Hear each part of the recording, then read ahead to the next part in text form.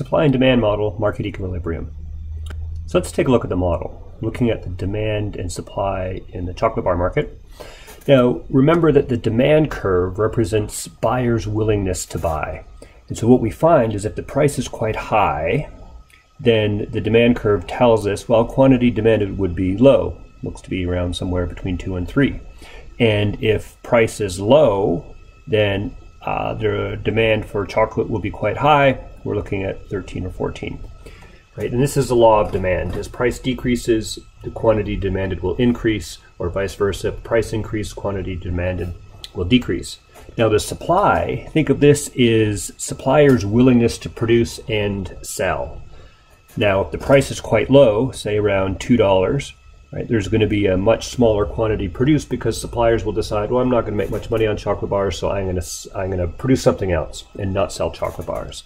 However, if the price of chocolate bars increases to a higher quantity, then the quantity supplied will be much larger in the market.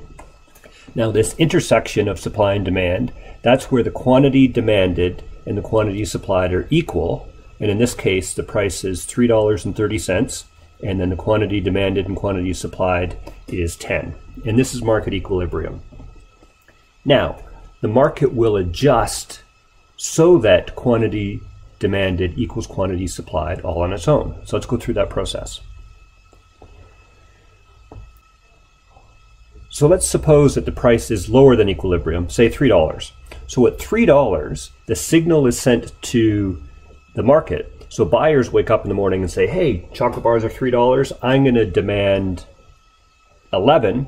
And then suppliers wake up and say, "Hmm, chocolate bars are only worth three dollars, so I'm only going to supply nine." Now, what this creates then is a shortage of two chocolate bars. So then when people come in to buy their chocolate bars, they're saying, hey, there's none on the shelves. And then the sellers say, hey, you know what? Our chocolate bars are selling quickly. And so the shortage then will cause the price to increase. Buyers are willing to pay more because there's no chocolate bars there, and sellers are realizing, hey, these are going quickly, so I can increase the price a bit.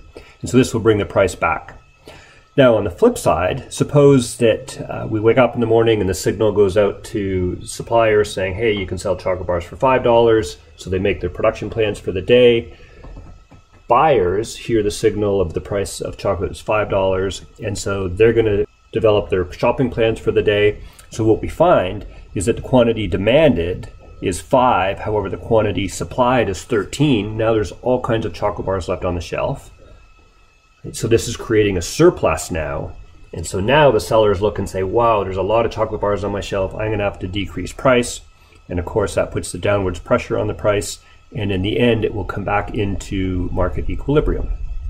And so that's the process of price adjustment, right? It's caused by either a surplus or a shortage, which then impacts uh, the price, moving it towards a price where quantity demanded equals quantity supplied.